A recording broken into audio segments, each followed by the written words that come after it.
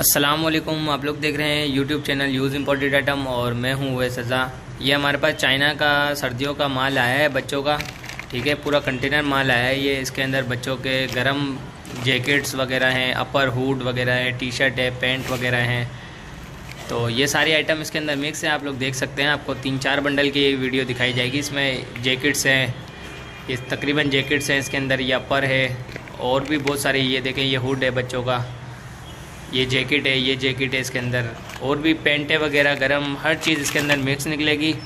सौ के जी का ये बंडल है। कम से कम एक बंडल दिया जाएगा आपको, ठीक है?